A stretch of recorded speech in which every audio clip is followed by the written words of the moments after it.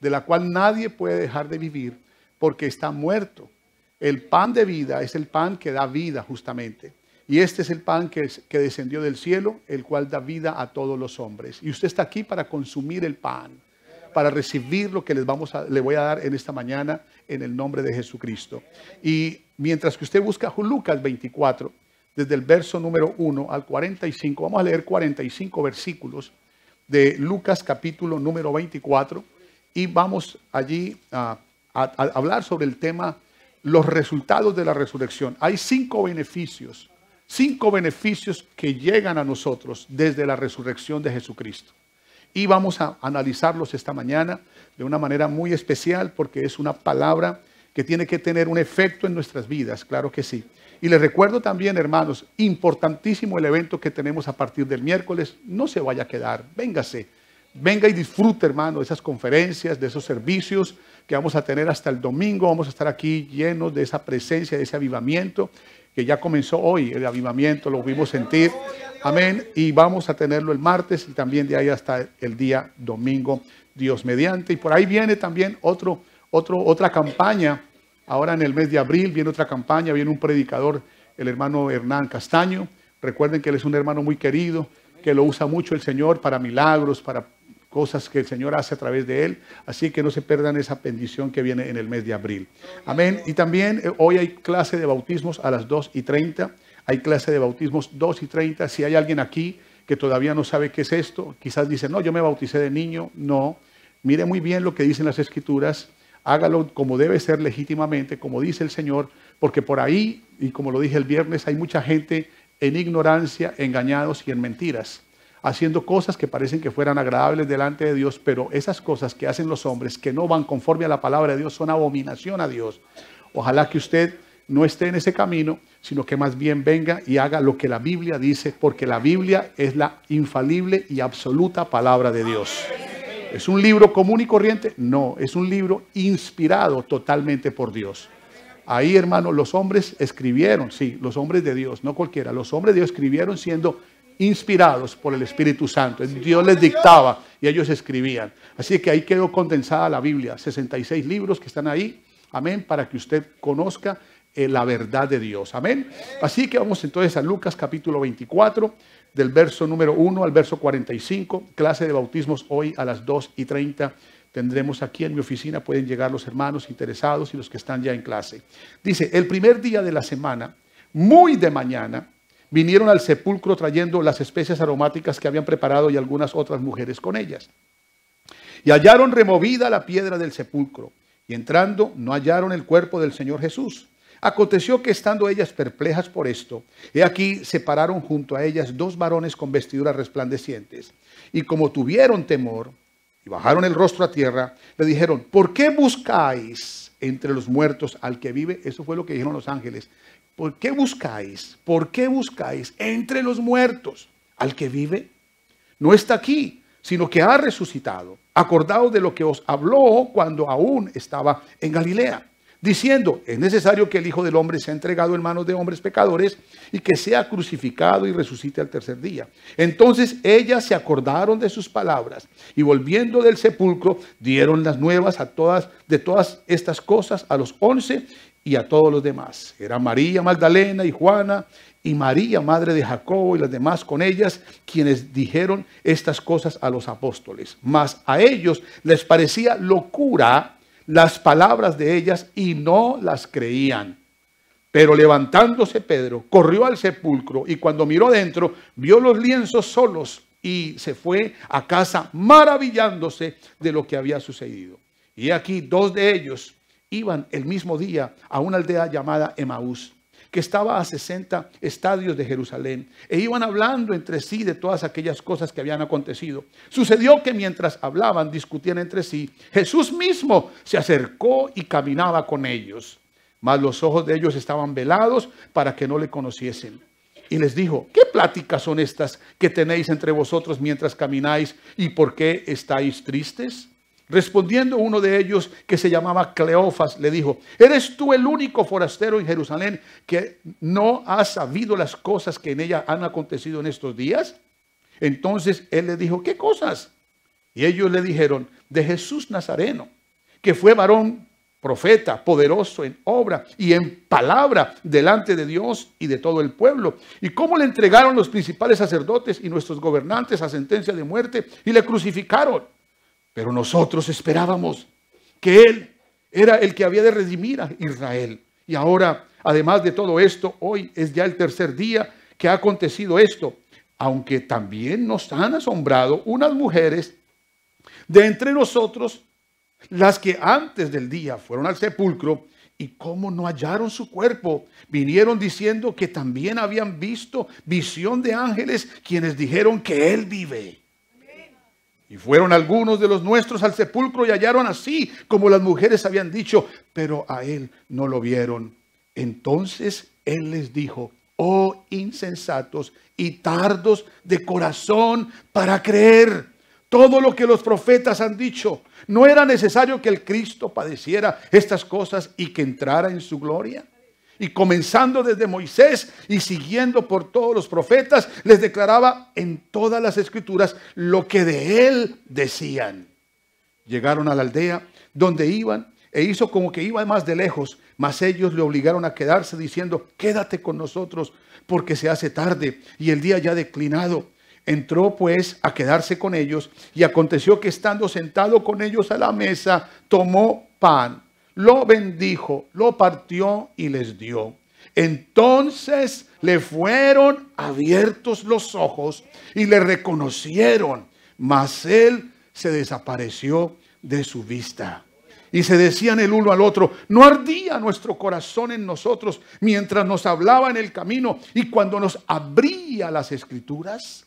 Y él, levantándose en la misma hora, dice, y, levantándose en la misma hora, volvieron a Jerusalén y hallaron a los once reunidos y todos los que estaban con ellos que decían, ha resucitado el Señor verdaderamente y ha aparecido a Simón. Entonces ellos contaban las cosas que les habían acontecido en el camino y cómo les había reconocido al partir el pan. Mientras ellos aún hablaban de estas cosas, Jesús se puso en medio de ellos y les dijo, pasa a vosotros. Entonces, espantados y atemorizados, pensaban que veían espíritu, pero él les dijo, ¿por qué estáis turbados? Y vienen a vuestro corazón estos pensamientos. Mirad mis manos y mis pies, que yo mismo soy. Palpad y ved, porque un espíritu no tiene carne ni huesos, como veis que yo tengo. Y diciendo esto, les mostró las manos y los pies. Y todavía ellos de gozo no lo creían y estaban maravillados. Y les dijo, ¿tenéis algo que comer? Entonces le dieron parte de un pez asado y un panal de miel. Y él lo tomó y comió delante de ellos y les dijo, estas son las palabras que os hablé, estando aún con vosotros, que era necesario que se cumpliese todo lo que está escrito de mí en la ley de Moisés y de los profetas en los salmos. Leamos todos el 45, por favor. Entonces les abrió el entendimiento para que comprendiesen las escrituras. Deje su Biblia a un lado, levante sus manos y dígale, Señor, el poder de tu resurrección tiene efecto en mi vida. Y en este día recibo ese efecto. Y dile, Señor, abro mi corazón, así como abrí mi Biblia. Y ahora mismo recibo tu palabra mi Dios, Dios Todopoderoso, Señor Jesucristo, estamos en el momento solemne de tu palabra. Llegó el momento en el cual tú ministras cada vida y cada corazón, cada visita, cada amigo que está aquí esta mañana, que reciba esta palabra y que esa palabra caiga allí en tierra fértil y dé fruto al cien por uno para ti, para la salvación que tienes preparada para toda persona te lo pido en esta hora, Señor. Mira, Padre Santo, que a través de esta palabra, oh Señor, tú hiciste los cielos y la tierra y que todo lo que hay existe por tu palabra de lo que no había, Señor. Y en este momento, Señor, oh, que el resultado de esa resurrección llegue a cada uno de los que estamos aquí. Sí, para la gloria de tu nombre, en el nombre de Jesucristo. Amén, amén, amén. Griten gloria a Dios. Siéntese, por favor. Amén, gloria a Jesús. Es importante en esta mañana reconocer que nosotros tenemos a través de lo que hizo Cristo en la cruz del Calvario, un resultado que nos beneficia, beneficia tu vida, beneficia tu familia, beneficia tu entorno. en la medida en que tú lo creas. Si tú lo crees, es importante, hermano. El texto que acabamos de leer nos habla tres o cuatro veces de la incredulidad de aquellos que andaban con Jesús. No lo podían creer, se resistían a creer. Y eso es una falta muy grande delante de Dios. Porque es más importante, hermano, creer que ver a Jesús y sentir a Jesús. Ellos, hermanos, si ustedes se dan cuenta, lo importante que es creer, porque al que cree, todo le es posible. Amén. Y el que creyere y fuere bautizado será salvo. Amén. Y no te he dicho que si crees verás la gloria de Dios. Ahí no dice, no creen, no, no creen ustedes que si me ven, no, no. No les he dicho que si me ven verán la gloria de Dios. Eso no dice así. Dice que si creen. Aquí es importante creerle a Dios. Es lo más importante. Recuerde que el Señor dijo estas palabras, oh generación incrédula y perfecta, duros de corazón, duros de servir, de servir, porque se resisten a creer a mi palabra y nos hace más fácil creer a la mentira que creer a la verdad. Pero que en esta mañana todos nos ciñamos el entendimiento para decir todo lo que el Señor me hable de su palabra, lo voy a creer 100%, lo voy a aceptar 100%, lo voy a recibir 100% porque es su palabra. Diga gloria a Dios, por favor. Y eso de creer trae beneficios para ti trae beneficios para tu familia, trae beneficios para todo lo que tiene que ver tu vida aquí y la vida eterna. ¿Por qué, hermanos? Porque al que, al que no cree ya ha sido condenado. No tendrá nada con Dios. Lo más importante que Dios espera esta mañana es que todos creamos a su palabra. Los hombres mienten, hermano. Las religiones mienten, hermano. Los políticos mienten. El mundo está lleno de mentira porque allá el mundo está bajo el dominio del maligno y el maligno es el padre de la mentira. Pero esta mañana estamos en la casa de Dios, el que trajo la verdad, así como lo dijo un niño. Y conoceréis la verdad y la verdad y la verdad Así es que fuera la mentira de su mente y de nuestro corazón. Fuera la mentira, el engaño. Y esta mañana llenémonos del conocimiento de la palabra de Dios. Ciñámonos de Él porque Él es el que trae beneficios hacia nosotros. Y es importante esto, que usted reciba, hermano, a través de la fe. La fe es creer a lo que dice la palabra de Dios. Fe es llenar nuestro corazón del conocimiento de la palabra de Dios, porque ahí están sus promesas. Y cuando usted conoce sus promesas, las recibe, las vive, hermano, las mete en su vida, eso trae como resultado los beneficios de Dios. Y por eso vamos a hablar esta mañana de esto. ¿Por qué? ¿Por qué? Porque esa obra en la cruz del Calvario marcó la historia de la humanidad. Fue el acto de Dios para darle bendición a la raza humana. La raza humana estaba perdida. Iban todos allá a la condenación. Estaban en cautiverio. Si el mismo pueblo de Dios estaba allí bajo una condición de cautiverio, de engaño, de mentira, de enfermedad, hermano, estaban poseídos. Había muchos endemoniados, dice la Biblia en el mismo pueblo de Israel, en el mismo pueblo de Dios. Pero ¿qué pasó? Dios no se quedó con los brazos cruzados, vino al mundo, vino a la tierra. Hermano, Él mismo oh, fue manifestado en carne, vino y habitó entre nosotros y vimos su gloria, gloria como el unigénito del Padre. Amén. Lleno de misericordia y de verdad.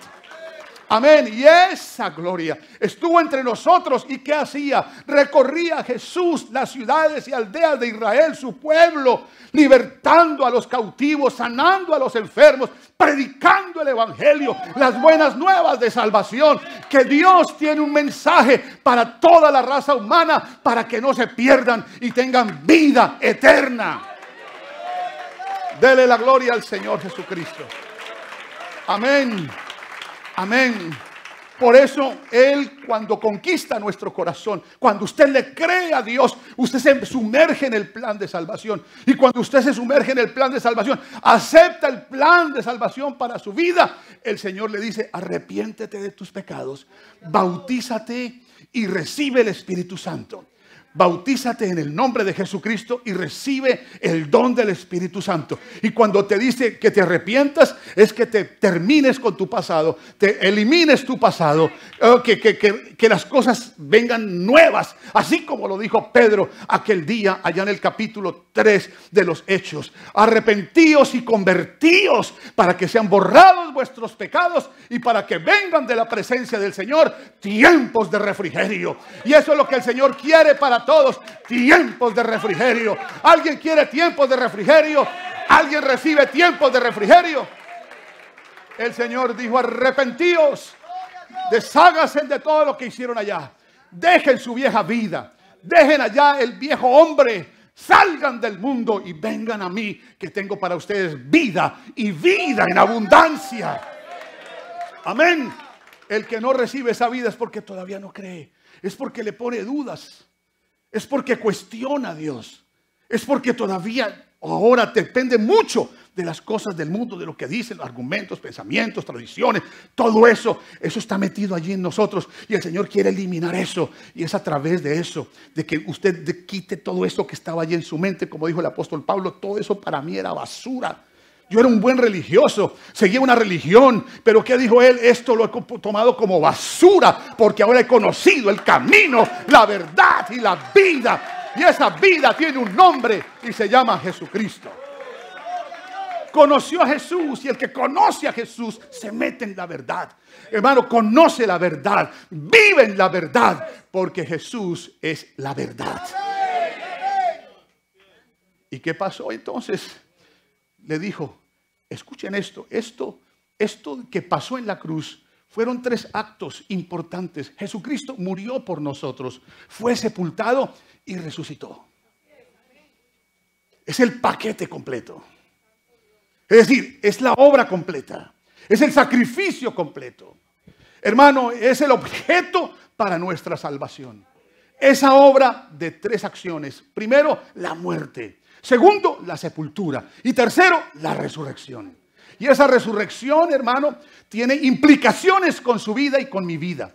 Es decir, repercute si yo lo creo. Si yo lo recibo. Por eso esta mañana, hermano, estoy con toda mi fuerza aquí para declarar la verdad. Y para que salga toda mentira, todo engaño, toda ignorancia, salga a un lado y prevalezca la verdad. Porque y conoceréis la verdad la verdad os hará libres. Libres para recibir esa calidad de vida.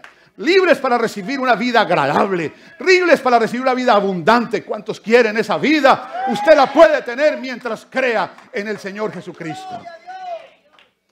Pero cuando dice el Señor, arrepiéntete, es que te, te olvides de todo lo de atrás.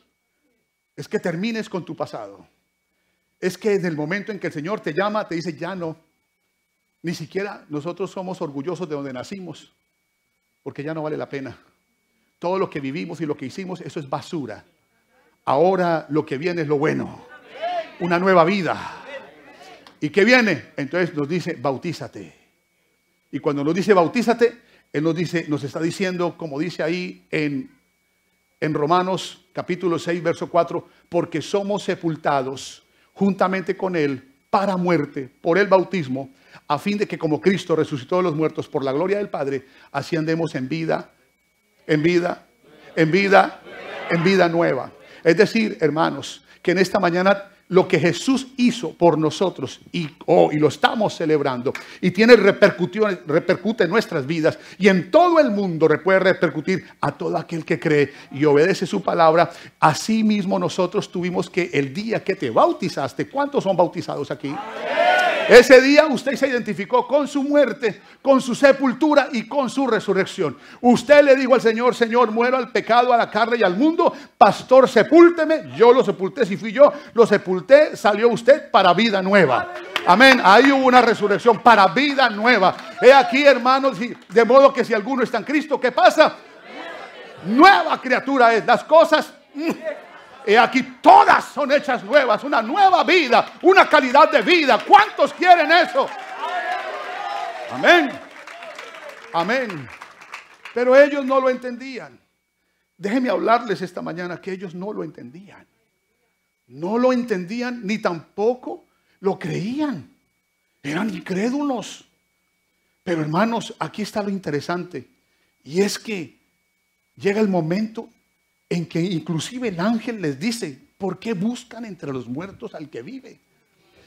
Y hay veces que tenemos situaciones, vivimos dificultades, vivimos circunstancias y nosotros andamos buscando en los muertos al que vive.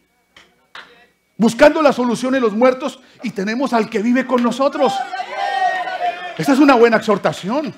A veces nosotros buscamos el recurso humano y toda esa gente que está fuera sin Dios son muertos.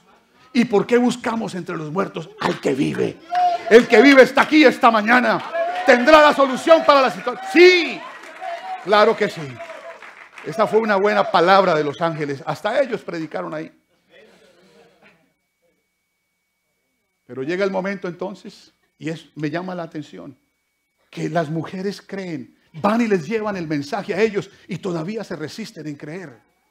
Pero allí pasa otra cosa. Van dos por el camino que va de Jerusalén a Emaús y van caminando y van allí hablando y van allí tristes y van allí cavilando en las, las cosas y el Señor se les une en el camino. Pero Él no se les manifiesta de la manera física, sino que se esconde o como que se, no se les revela como debe ser y comienza a preguntarles como si fuera otra persona que va con ellos. Y ahí no lo reconocieron, hermanos.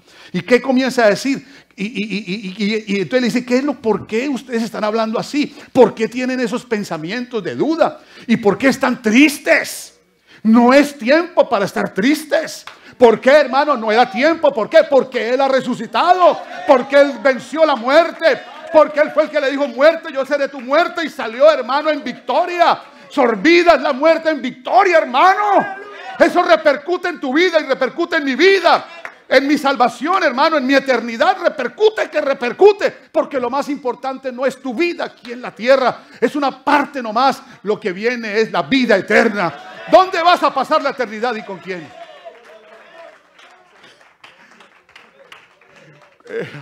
Ahora que estaba en México, el taxista este que se llama Jesús Emanuel, yo le dije, mira, Jesús, Jesús, yo le decía a Jesús, mira, la vida, la existencia del ser humano es como un partido de fútbol. El primer tiempo es aquí y el segundo tiempo es allá.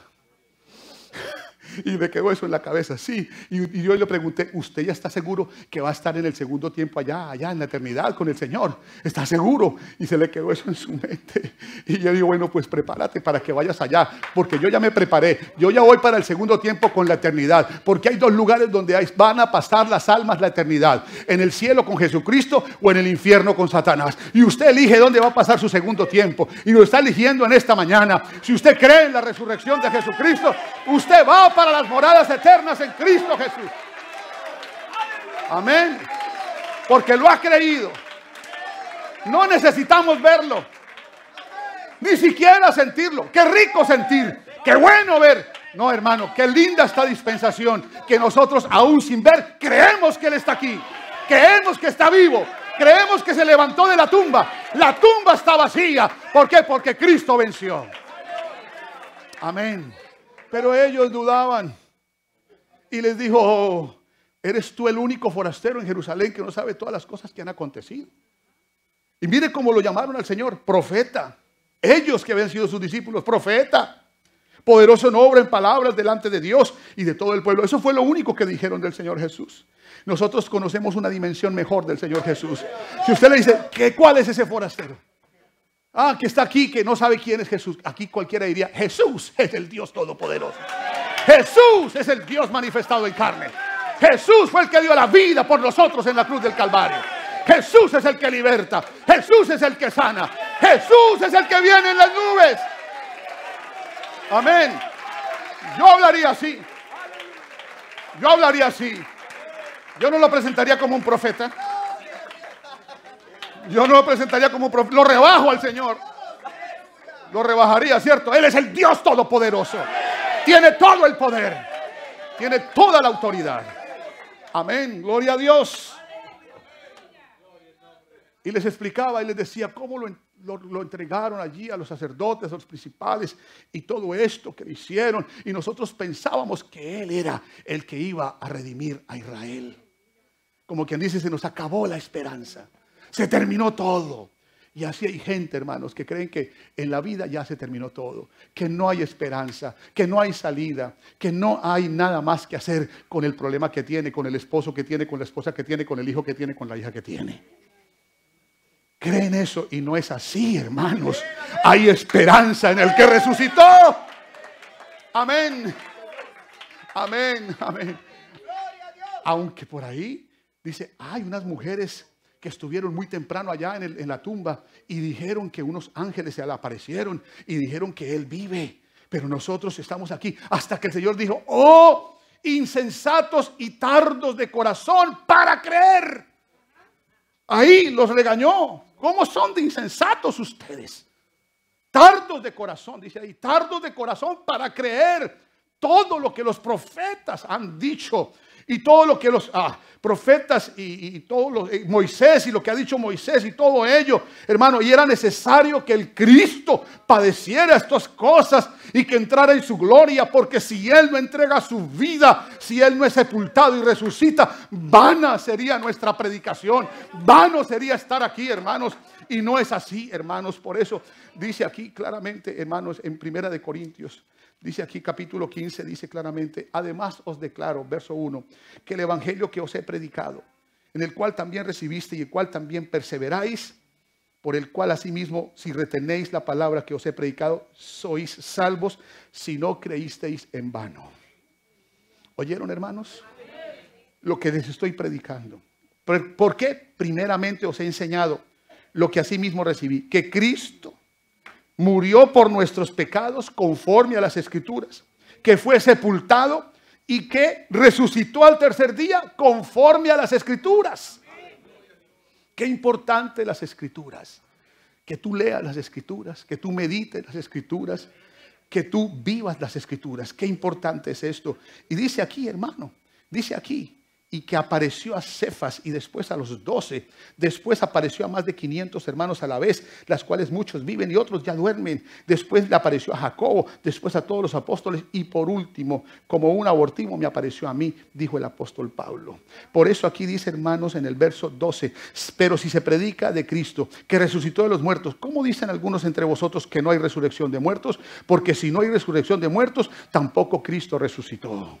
Pero el verso 20 dice, oh, más ahora Cristo ha resucitado de los muertos. Primicia de los que durmieron es hecho. Porque por cuanto, escuchen esto, por cuanto la muerte entró por un hombre, también por un hombre la resurrección de los muertos. Porque así como en Adán todos mueren, también en Cristo Jesús todos serán vivificados. ¿Cuántos están siendo vivificados, hermano? Claro que sí, el Señor nos ha vivificado a través de su palabra de su revelación. Y ahí estaban ellos, hermanos, insensatos. Y comenzaron el Señor a explicarles desde Moisés y siguiendo por los profetas, les declaraba todas las escrituras a esos dos que iban allí dudando. Y les decía todo lo que las escrituras decían de él mismo. Ellos, hermanos, después de que terminó la conversación, obligaron al Señor Jesús a entrar allí a su casa porque ya era tarde, ya era muy de noche y le dijo, quédate porque se está haciendo de noche. El Señor entró, estando allí, hermano, dice que aún, hermano, yo creo que ahí en ese lugar ya había luz, ya se habían quitado quizás la capa, no sé, pero entonces estaban allí y dice que estando a la mesa el Señor tomó el pan, lo bendijo, lo partió y lo dio. Entonces fueron abiertos sus ojos, aleluya, y reconocieron que era el Señor, alabanzas al Señor. Por eso qué importante que usted y yo nos dejemos, hermano, tomar en las manos del Señor como el pan. Amén, que Él tomó en ese día, hermano. Él toma el pan, toma una vida, nos bendice a través del conocimiento de su salvación. Luego nos parte, algo tenemos que sufrir y luego nos da. Amén. Así hace con él, hizo con el pan, así hace con nosotros. Él nos toma. Amén.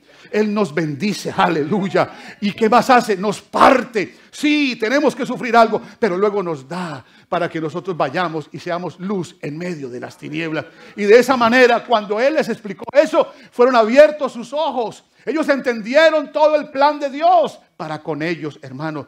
Pero en ese momento el Señor se les desapareció de vista. Porque aquí no es lo importante, no es verlo. Quizás tampoco sentirlo, aunque es bueno sentirlo. Aquí lo importante es creer lo que dicen las escrituras. ¿Sí o no, mis amados hermanos? Luego, hermanos, se decían el uno al otro, no ardía nuestro corazón. Ah, ahí, ahí es donde debe arder nuestro corazón. No ardía nuestro corazón mientras nos hablaba en el camino, cuando nos abría las escrituras. Sí, cuando nos hablaba la palabra, no ardía nuestro corazón.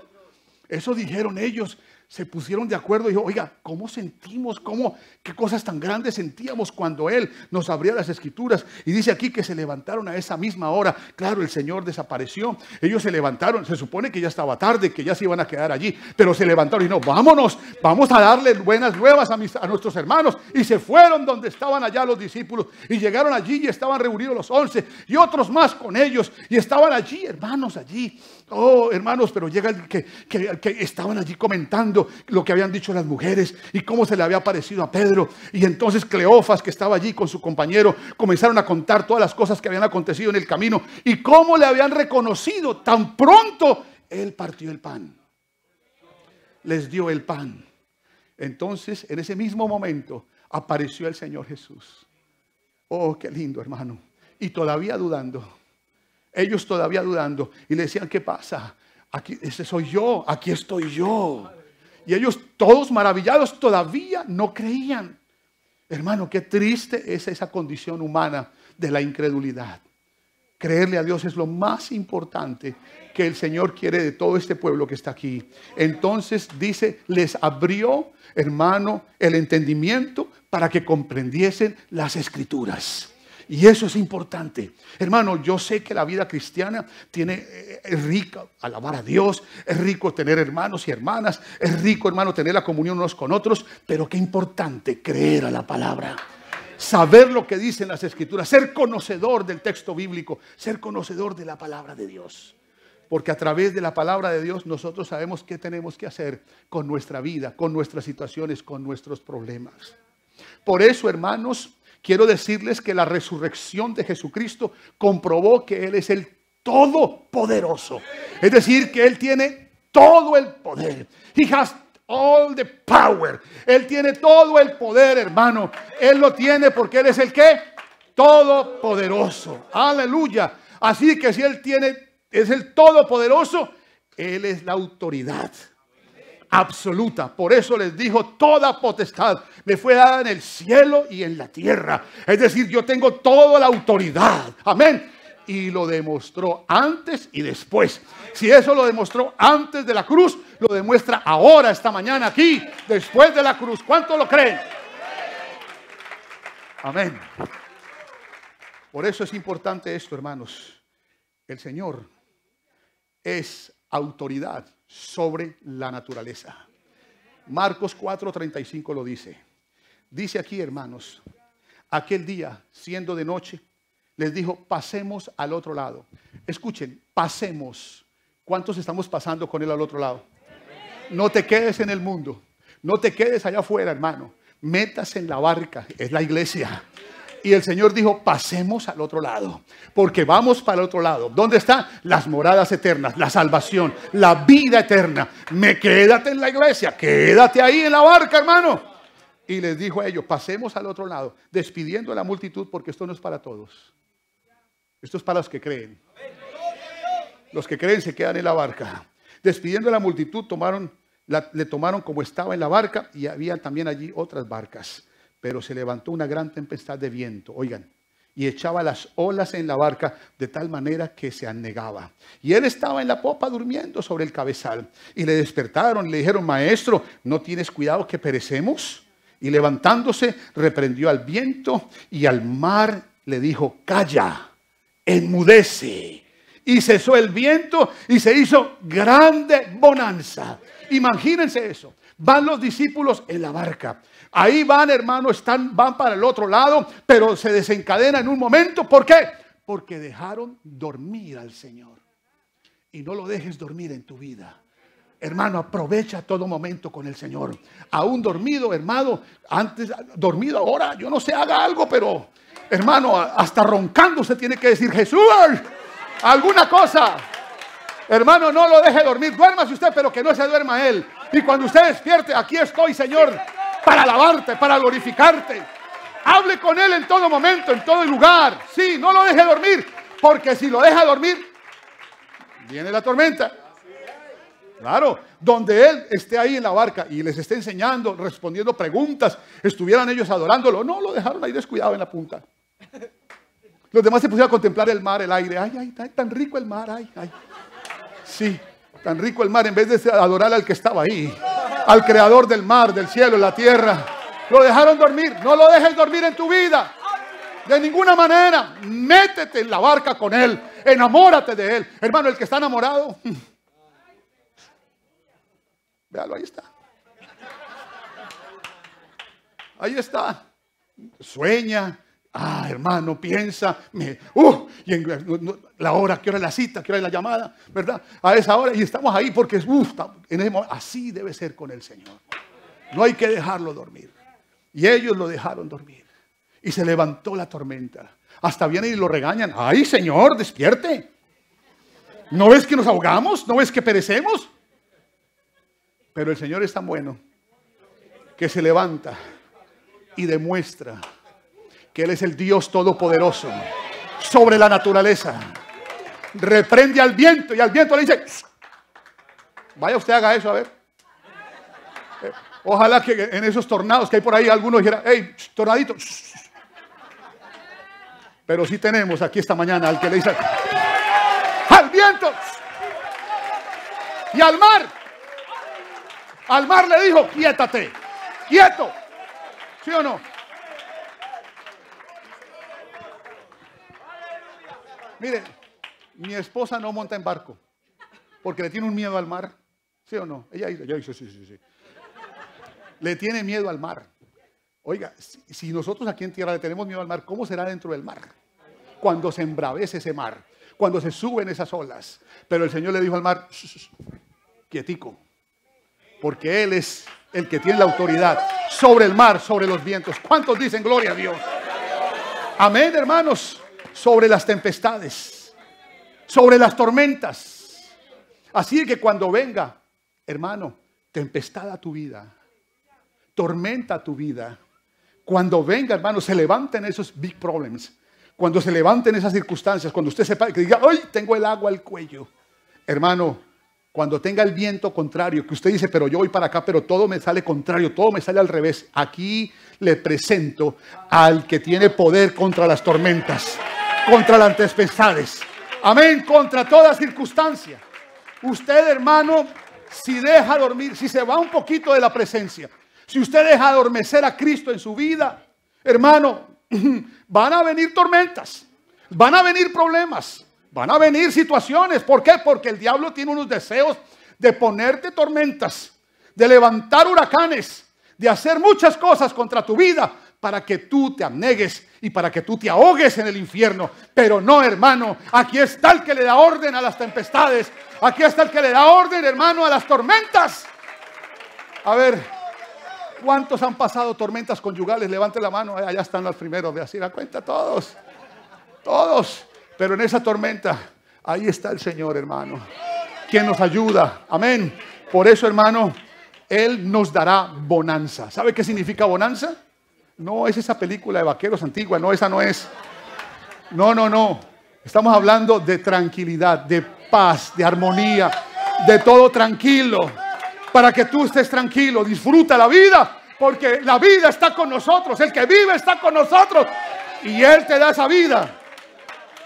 Amén. Amén, hermanos. Pero para que tú superes tus tormentas, solamente tienes que hacer dos cosas. Permanece en la barca. Así como lo dije el viernes. Quédate en el mesón para que Él cuide de ti. Quédate en el mesón. Porque en el mesón Él te está cuidando. Amén. Así es. Quédate ahí en la barca. Quédate quieto. No se tira al mar. Se ahoga mi hija. Se ahoga mi hijo. No, quédese ahí y tenga fe. Tenga confianza en el que está en su barca, el que está en su vida, el que está en su casa, el que está en su hogar. ¿Cuántos tienen a Jesús en su vida, en su hogar? Claro que sí, hermano. Por eso asegúrese de que la barca donde está Jesús esté limpia. No se ponga a tener ahí crucifijos, ni, ni que su cama haya ya una crucecita, ya con él así, así. No, hermano. Él no está así, hermano. No, Él venció la muerte. Él salió de la cruz, hermano. Fue sepultado y resucitó. Y está aquí en fuerza, en poder, en vida con nosotros. Amén, hermano. Sí, sí, sí. Saque todas esas cosas, hermano, que no tienen por qué estar en su barca para que Él permanezca en Él. Él necesita un ambiente adecuado. Él necesita un ambiente especial porque Él no se mueve, Él no se mueve en cualquier lugar sino allí donde se respeta, allí donde se... Por eso tenga cuidado con lo que ve con el control. Los programas que usted ve, las palabras que usted dice en su casa. Deje de decir tantas cosas, hermano. Deje de, tratarse tan duramente unos en sus casas. Aquí, allí, hermano, el esposo, la esposa. No, no, no, ojo, el Señor está ahí. Y no hagan que Él se vaya. Porque donde Él no se siente cómodo, Él se va a salir. Hermano, si usted, hermano, ¿cuántos fuman aquí? Ninguno. Entonces, entonces si usted, hermano, hay una cabina, hay una cabina allá cuando uno sale del aeropuerto. Cuando uno sale del aeropuerto hay unos lugares públicos donde hay unas cabinas, unas, oficinas donde la gente va a fumar exclusivamente porque esa es una ley. Hermano, ¿usted cree que yo me voy a quedar ahí? Me voy a meter ahí solamente por oler el olor. No, cualquiera sale de ahí. Los que fuman les gusta ese olor, pero los que no, se tienen que ir, es incómodo. Cuando yo llego a un lugar y uno se siente que el ambiente no está, uno lo que quiere es irse. Así pasa con el Señor Jesús. Por eso el Señor Jesús quiere estar, quiere estar cómodo en esa barca. Amén, hermano. Y eso depende de nosotros, amén, del ambiente que procuremos para que Él se quede con nosotros. Y hay que alabarlo, hay que glorificarlo, hay que hablar con Él, hay que orar, hay que bendecirlo, hay que hacer algo. Amén. Y sobre todo, creerle permanecer en Él y creerle. Eso es fe. Hombres y mujeres de fe. ¿Sabe qué significa eso? Que le creen a Dios. Porque por ahí hay creyentes. Sí, aquí están los creyentes, ¿verdad? Y también hay crédulos. ¿Dónde hay crédulos? ¿Aquí hay crédulos? Ah, ya saben, ¿no? Ya saben. Los crédulos son los que le creen a todo el mundo. Le creen al diablo, al político, al, brujo, le creen a la iglesia católica, a los mormones, a todo el mundo le creen. Y hasta la iglesia, aquí, hasta aquí se gozan aquí también. Y dice, en cualquier lugar es lo mismo. No, no es lo mismo, hermano. Muchas hay religiones. Muchos son los caminos. Muchos son las concubinas. Pero una es la perfecta mía. Una es la preciosa mía. Una es la paloma mía. Una es. Y es aquella que permanece en Él. ¿En quién? En Cristo. Amén. En Cristo. Amén. Hay muchos en estos días dándole honra a María. A María hay que honrarla en el cielo, no aquí. Cuando llegues allá, honrala si quiere. Pero yo le hago una pregunta. Cuando los reyes magos fueron a visitar al rey de los reyes que había nacido, estaba allí, ¿cierto? Y los tres, los tres magos trajeron su regalito, ¿no es cierto? ¿A quién? Y a María no le trajeron nada.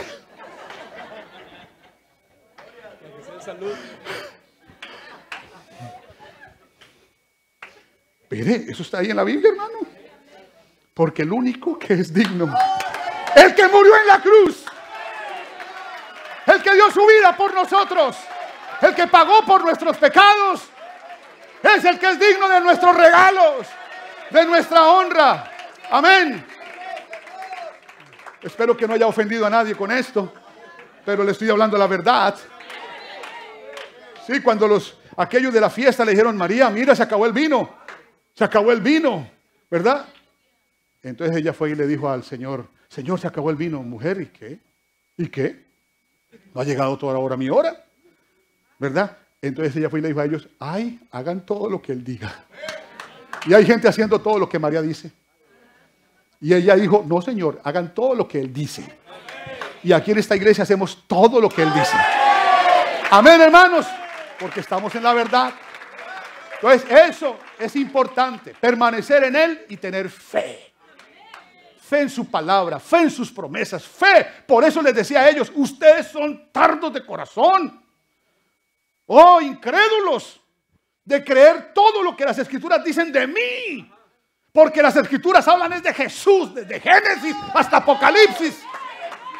El personaje principal de la Biblia se llama Jesús. Mire lo que está diciendo el Señor. Todo lo que de mí dicen Moisés y los profetas, de mí dicen tardos de corazón en creer. Por eso aquí la excelencia, el sumo sacerdote es Jesús de Nazaret. Amén. Y cuando estés en una tormenta, no te pongas a llamar a nadie más. Ay, San Lázaro bendito. Ay, Virgen del Virgen. Hay algunos que todavía los saludan. Ay, pasa cualquier cosa. Virgen Santísima. ¿Para qué la Oiga, pero qué cristianos diciendo eso. Cristianos todavía. Y me sorprenden a ver, yo los miro así. Yo, Cierto.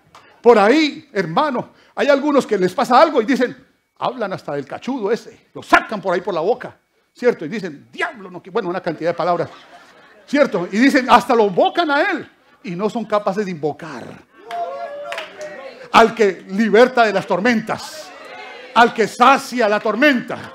Hermano, todas y téngalo por seguro que el que sacia la tormenta y pone en bonanza nuestras vidas es Jesús. No lo olvide, hermano. Ese es el primer beneficio de la resurrección. Que Jesús, hermano, sabe apaciguar sus tormentas, mis tormentas. Ya saben cuál es el origen de las tormentas. Lo dejamos dormir a Él. ¿Verdad? No lo dejes dormir. Y verás que vas a tener una vida tremenda. Segundo, si tienes una tormenta, permanece en Él. No te vayas no te pongas a llevar los pensamientos, a dejarte llevar, influenciar por pensamientos, lo negativo, el diablo diciéndote aquí, la compañera te dice esto, eh, aquí tú, tú, mismo yo te dice esto, te, una cantidad, escuchando voces por todas, no escuches eso.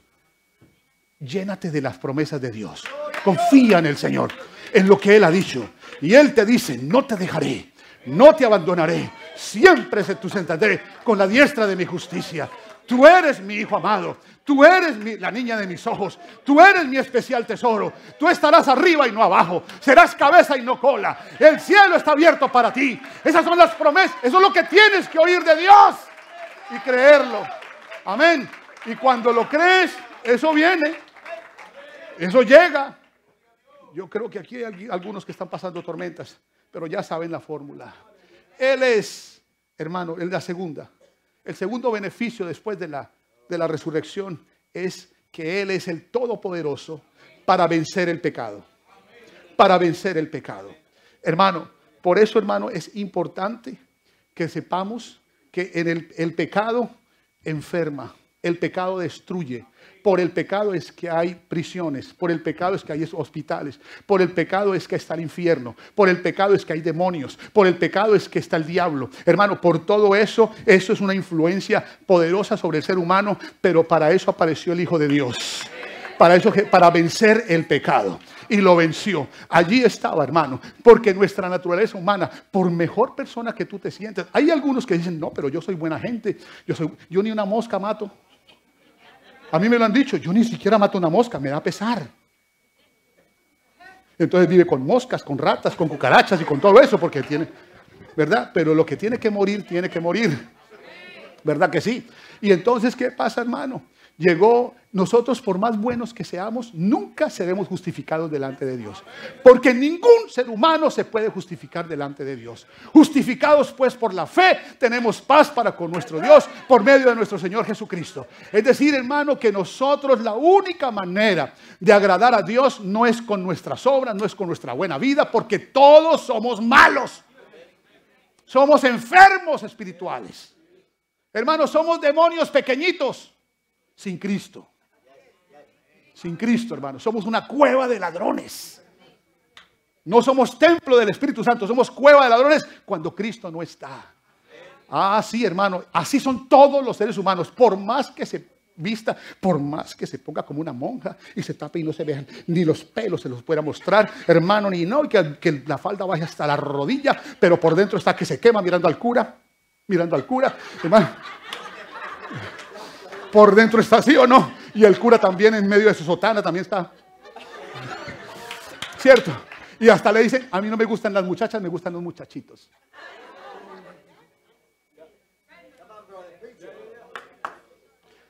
Si ofendí con eso a alguien, perdóneme, pero por ahí dicen eso, ¿no? Afuera están muchas esas noticias de eso. Óigame bien, pero el pecado lo tiene toda la raza humana. Y así es, pero Jesús hace la diferencia. Porque ahí estaba una mujer ¿Quién sabe? Su marido la había engañado, la maltrataba, le daba mala vida, el hombre sinvergüenza ese, la golpeaba y por ahí se fue al mercado y por ahí le habló uno bien bonito, la trató bonito y entonces vino y claro, la escuchó porque era una mujer con, sentimientos, con, con esto, pero la y cuando la agarran, la descubren allí los fariseos y saben que esa mujer es casada con otro y la encontraron en el mismo acto del adulterio con aquel que le vino y le habló bonito. Eso es normal para la gente afuera. Que usted, si, ese no, si su marido no la trata bien, pues consígase otro. Déjese sin vergüenza. ¿Cierto? Así le dicen las amigas y los amigos. Así le dicen, no, no se deje mandar de esa mandona. ¿Verdad? No se deje gobernar de esa, que lo que quiere es tenerlo así, así, así, así, así. ¿Cierto? Sálgase de ese yugo, consígase otra que lo trate mejor. Eso anda hablando el diablo, ¿sí o no, hermanos? Esa no es la verdad. No, Señor, esa no era la verdad. Y ahí cae la gente en pecado por esa razón. Y así había caído esa mujer. La agarraron, venga para acá, que la ley dice que una mujer que cometa adulterio debe ser apedreada. Y la llevaban ahí lista para ser apedreada. Y cuando aparecieron, se la trajeron al Señor Jesús. Y cuando se la trajeron al Señor Jesús, le dijeron, Señor, aquí está. La hemos encontrado en el mismo acto del adulterio, acostada con su amante en el motel tal y tal.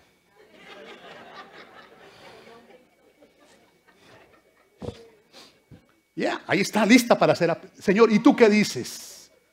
¿Tú qué dices? Y él escribiendo a tierra con el dedo. El que juzga la tierra estaba ahí, ahí. Ahí, ahí. Entonces se levanta y dice, claro, lo estaban asediando. A ver qué tú qué dices, a ver qué dices.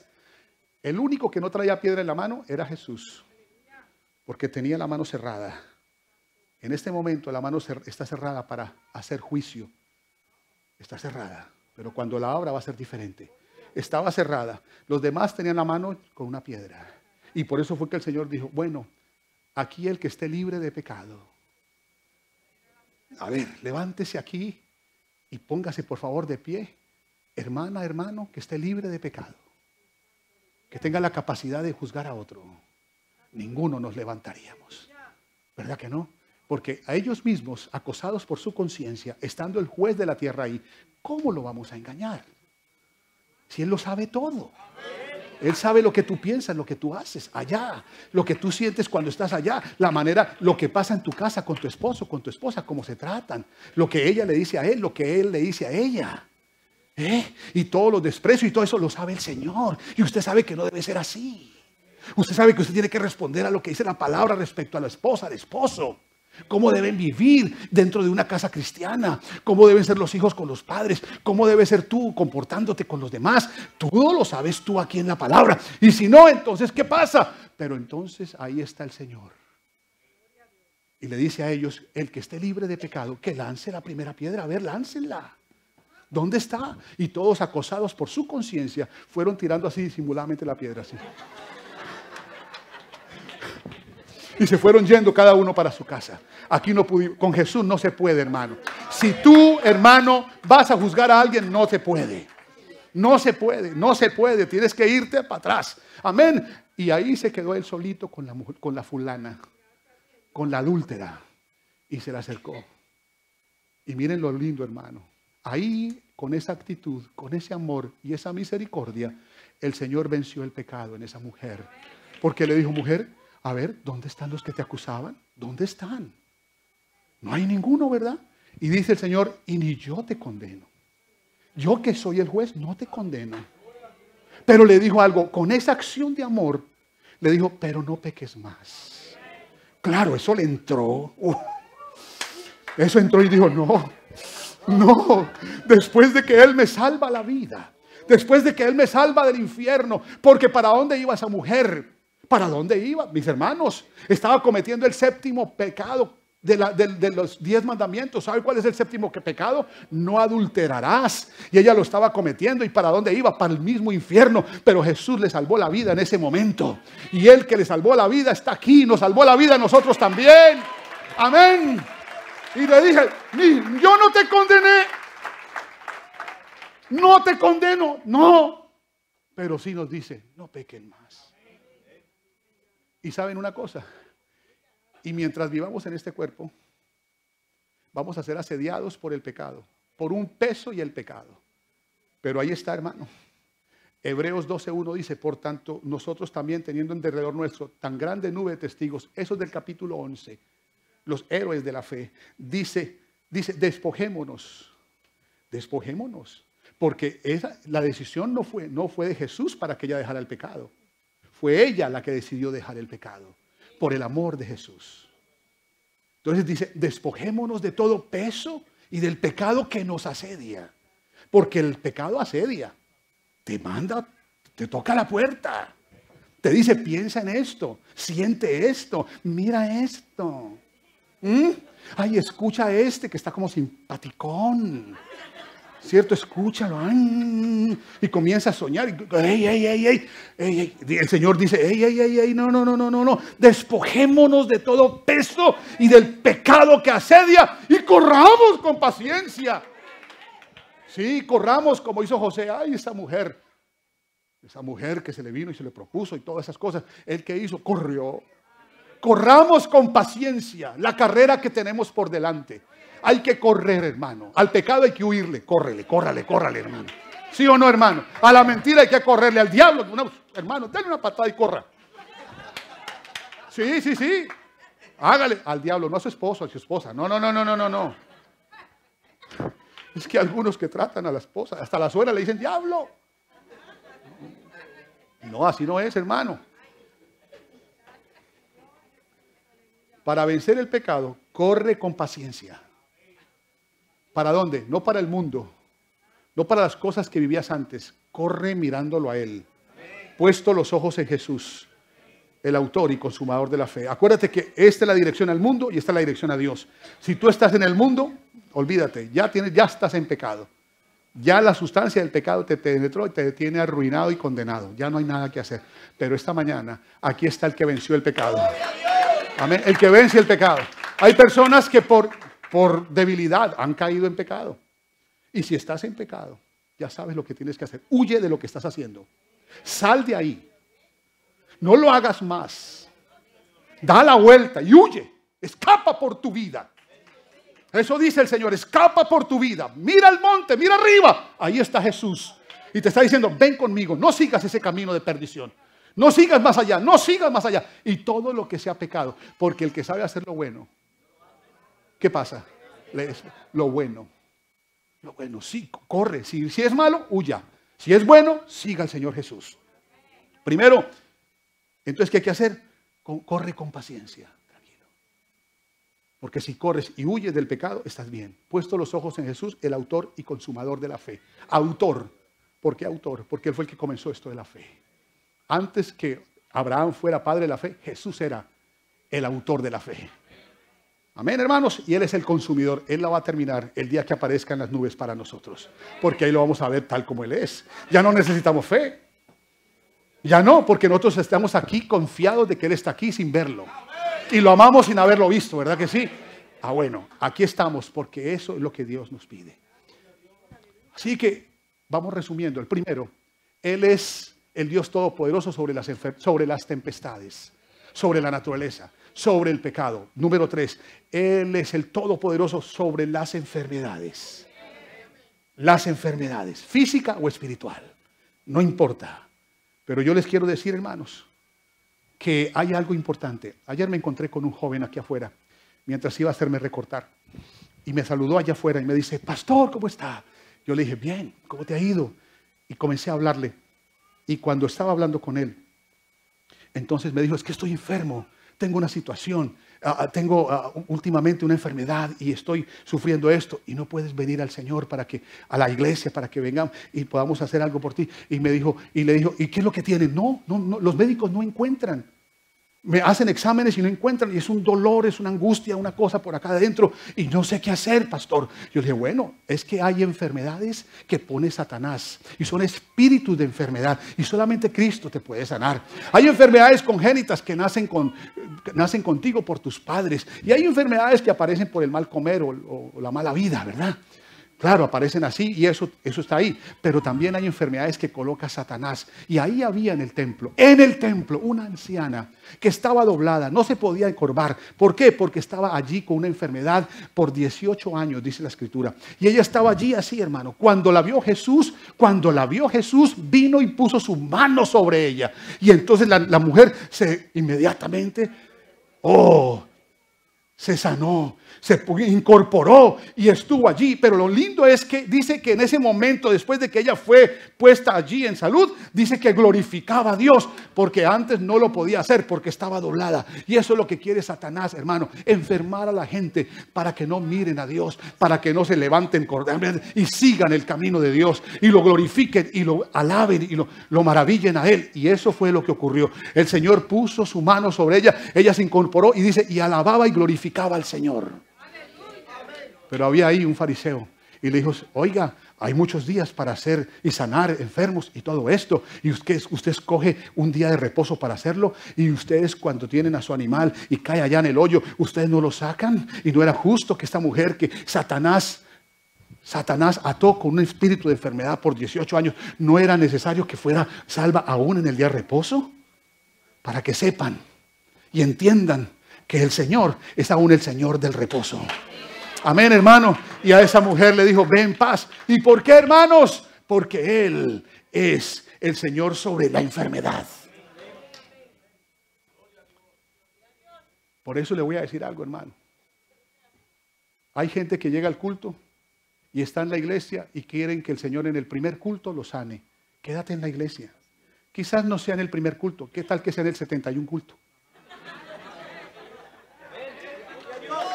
O en el 150 o en el 178. ¿Me están entendiendo? Que no, no, es que si él dice, es cuando él quiera. Pero si estás en el templo, la anciana estaba en el templo, ahí encorvada y todo, con su Biblia ahí, así vea, así encorvada, encorvada, doblada por Satanás, pero ella estaba en el templo. Y el que está en el templo tiene misericordia. Amén, hermano. Y cuando Él nos ve en el templo, porque qué tal que el Señor dijera, bueno, yo sano los martes. El domingo no vendría nadie aquí, pero el martes estaría esto lleno aquí. No se sabe, quizás un martes, un viernes, un ayuno. Pero está ahí, está ahí, gloria a Dios. Hermano, para la enfermedad solamente hay que hacer dos cosas. Permanezca en la casa de Dios y alabe al Señor. Sencillo, hermano. Y el Señor te va a sanar. Dígame. ¿Lo va a hacer? Claro, el que sana está aquí con nosotros. Pero Él quiere saber si tú vas a permanecer en el templo. Porque usted se ha dado cuenta, mira, hay gente, hermano, sí, hay gente que viene exclusivamente porque tienen problemas, tienen una enfermedad, o les declararon cáncer, les declararon alguna enfermedad por ahí y ya, y vienen buscando al Señor porque escuchan la palabra, saben lo que dice Isaías 53, que el herido fue por nuestras maldades, por nuestras rebeliones, por nuestro castigo y todo fue sobre Él, y por su llaga hemos sido nosotros curados. Se lo saben hasta de memoria y saben que el Señor, y lo buscan, pero apenas tienen la salud, Apenas el Señor lo sana, vámonos otra vez para el mundo. Y por allá se pierden. El Señor no quiere eso. El Señor quiere que tú te enamores del templo, que tú te quedes en su presencia, que sigas viniendo, que sigas ahí en el templo, porque el Señor va a sanarte. Que lo va a hacer, lo va a hacer, hermano. Amén. Yo tengo testimonios en esta iglesia de hermanos enfermos con enfermedades, hermanas enfermas, hermanos, que el médico les dijo, oh, hay una declaración contra ti, te mueres y te vas a ir, ya, te vas a ir. El médico le ha dicho hasta días. Y aquí están todavía. Aquí están todavía. Están todavía, ¿sabe por qué? Porque el Señor los ha sanado. Amén. ¿Por qué? Porque permanecen en el templo. Y mientras estén en el templo, hermano, no. Olvídese. Cuando usted venga al templo con un dolor, con alguna angustia, con alguna... Olvídese del dolor. Olvídese eso. Alabe a Dios, hermano. Glorifique a Dios. Hay gente que, hermano, se enferma en la, y en la casa se quedan. Ay, tengo una jaqueca. Un dolor de cabeza. Es que a mí me da migraña. ¿Qué migraña? No tiene migraña. Se la pone por no venir al culto.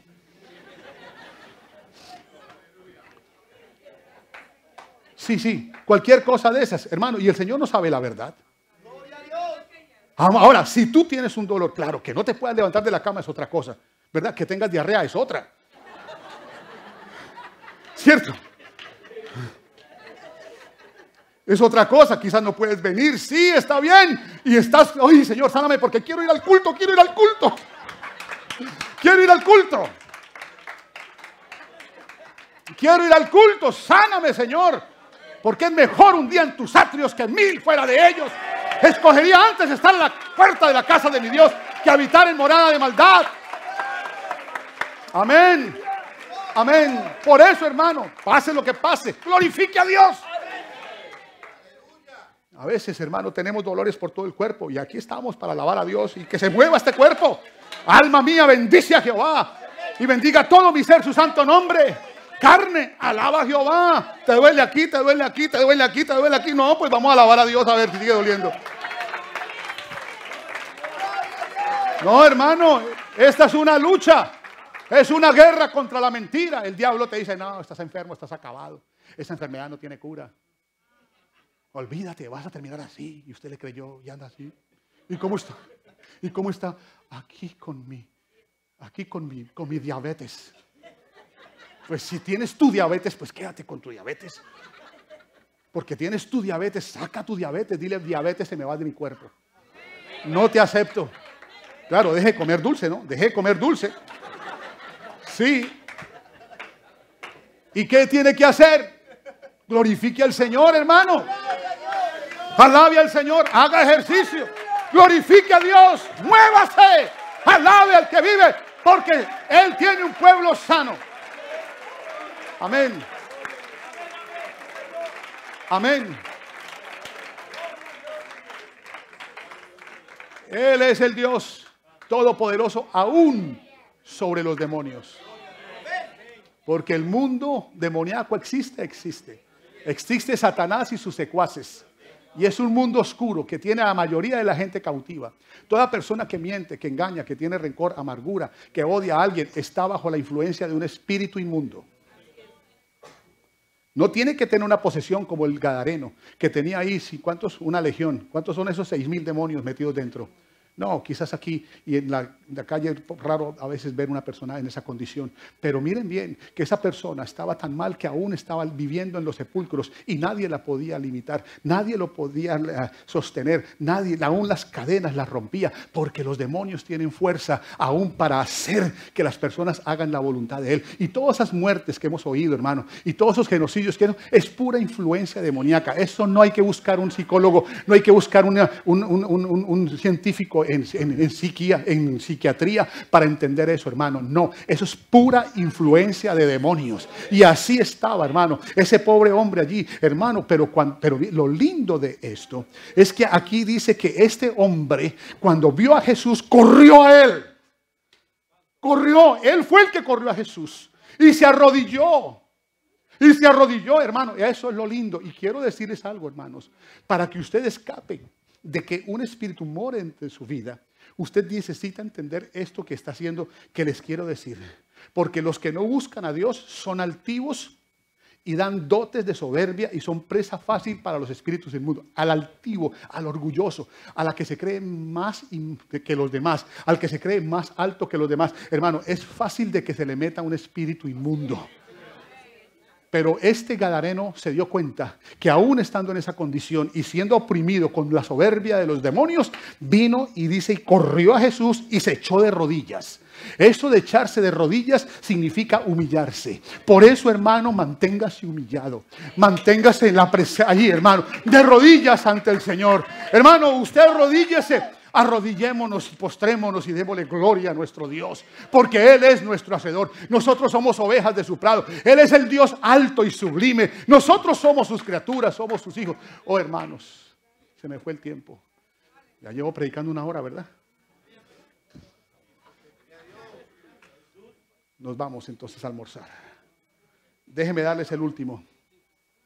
Solamente quiero decirles que este Gadareno fue libre haciendo dos cosas. ¿Qué cosas? Corriendo hacia Jesús y postrándose ante Él. Pero Jesús le dijo, déjame. Él le dijo a Jesús, déjame irme a ir contigo. Y el Señor le dijo, no, ve a tu casa y cuenta cuántas grandes cosas ha hecho Dios contigo. ¿Sabe qué significa eso? Que ese hombre no le podía dar bien a su familia, porque toda persona con espíritus, con cosas malas dentro de él, con cosas opresivas dentro de él, hermano, esos son espíritus que operan y no le dan bienestar a su familia. Y ese hombre terminó allá afuera en los sepulcros, pero cuando Jesús lo hizo libre, eso fue lo primero que el Señor le dijo, ve a tu casa y ahora sí comparte con tu familia, porque ahora sí vas a hacer feliz a tu familia. ¿Se dan cuenta qué lindo es, hermanos? Y Jesús es, hermano, todopoderoso porque venció la muerte. Y la muerte, hermano, escúcheme bien, la muerte es algo terrible. Es algo terrible, la muerte espiritual. Hay gente caminando, pero muertos espiritualmente. Y esto es así. Y así estaba Lázaro. Lázaro estaba muerto, metido en una cueva, amordazado completamente. Pero quiero decirle, hermano, que allí llegó Jesús. Y Jesús cuando llega, hermano, algo ocurre. Y le dice a ellos que estaban allí, muevan la piedra. ¿Sabe una cosa? Aquí hay alguien que está muerto espiritualmente. Que no, ¿cuáles son los, los síntomas de muerte? Ya no oras como antes. Ya no lees la Biblia, no deseas la Biblia, ya no te dan ganas de venir al culto, te, gusta ver mucho la televisión, te gusta más estar allá en el internet, oh hermano, apacentuando las cosas del mundo, hermano, y, y se le ha quitado el deseo de venir a la iglesia, y se le ha quitado el deseo de alabar, y ya no siente nada, es que está muerto, está como Lázaro metido allá en la cueva. Pero sabe una cosa, hay una iglesia, hay una familia, hay unos hermanos que están diciendo, vamos a mover esa piedra. Amén. Para que ese salga. Y estamos, hermano. Yo sé qué linda esta iglesia. Porque cuando un hermano deja de venir, por ahí están algunos hermanos preocupados. Y el hermano tal, ¿por qué no lo hemos visto? Y esta familia, ¿por qué no la hemos visto? Y estamos ahí en oración. Estamos quitando la piedra. ¿Por qué? Porque el que dice, sal de ahí, está aquí esta mañana. Es el que le dice, sal de ahí, que quiero darte vida. Amén.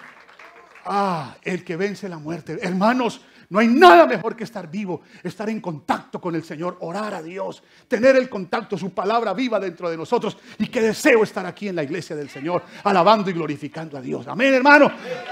Que salga de nosotros Oh, hermano, si hay una piedra, aquí la quitamos esta mañana todos. ¿Sí o no? Si hay alguien aquí que está en una cueva y no siente la presencia del Señor, se está muriendo espiritualmente, esta mañana movemos esa piedra para que alguien salga de allí y reciba la vida agradable que Dios tiene para nosotros. Póngase de pie, hermano. Hay victoria. Hay victoria sobre la tempestad. Hay victoria sobre el pecado. Hay victoria sobre la enfermedad. Hay victoria sobre los demonios y hay victoria sobre la muerte. ¿Cuántos celebran esa victoria en esta mañana? Levanta las manos y dile, Señor, gracias.